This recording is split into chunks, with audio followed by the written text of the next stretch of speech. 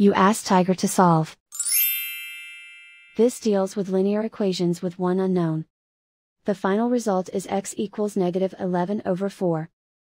Let's solve it step by step.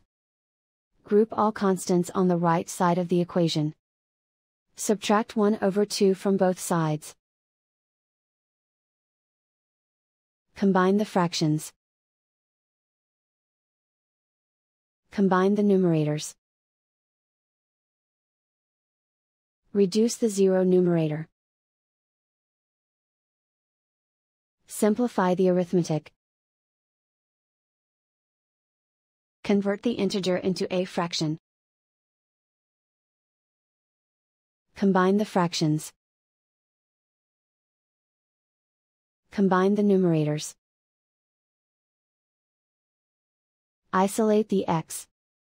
Divide both sides by 2. Simplify the fraction. Simplify the arithmetic.